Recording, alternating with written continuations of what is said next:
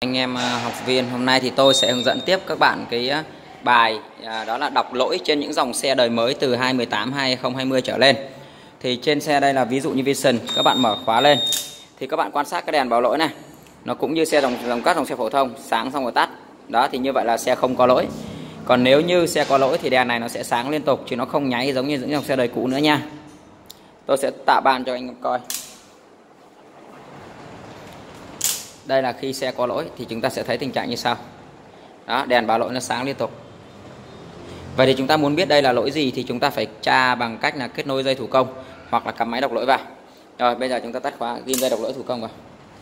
Dây đọc lỗi thủ công thì bên bình ắc quy nối hai dây bên trái lại với nhau. Rồi, chúng ta sẽ mở khóa lên. Thì lúc này nó sẽ nổi cái số lỗi lên cho chúng ta. Một chậm, một nhanh, hai nhanh, đó là 12 đó, thì đây là cách đọc lỗi thủ công. Rồi, sang dòng SH đi. Thì à, trên những dòng xe đời mới như SH 2020 cũng vậy luôn, cũng tương tự như vậy. Khi chúng ta mở khóa lên, đèn báo lỗi sáng. Xong rồi tắt, như vậy là bình thường, xe không có lỗi. Còn nếu xe có lỗi thì đèn này sẽ sáng liên tục.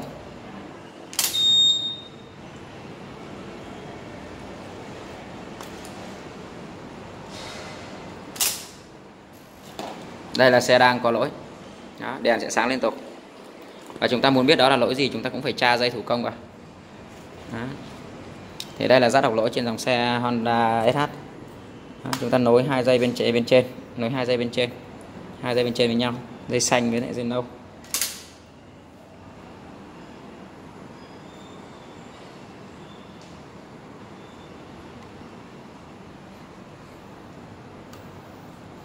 Và sau khi chúng ta cắm vào xong, chúng ta cũng mở khóa lên.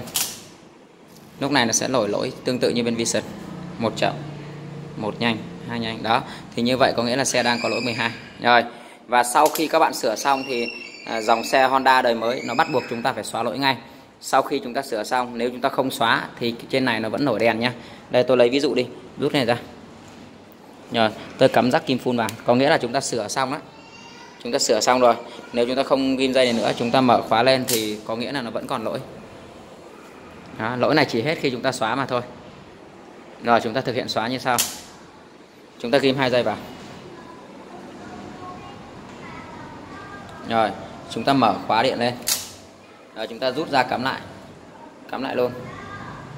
Rồi sau đó đèn báo lỗi sẽ nháy nhanh liên tục. Đó là thành công. Rồi chúng ta tắt khóa đi rút rác ra rút rác ra chưa? Rồi, mở khóa lên. Đèn nó tắt. Rồi, như vậy thành công. Đó. Thì trên dòng xe đời mới đều đều xóa lỗi, đọc lỗi như vậy hết các bạn nhé. Rồi, Vision nó đang có lỗi 12 lấy là lỗi cũ. Bây giờ chúng ta sẽ xóa lỗi như sau. Cũng tương tự như vậy thôi. Ghim hai dây đọc lỗi vào. Rồi, sau đó chúng ta mở khóa lên.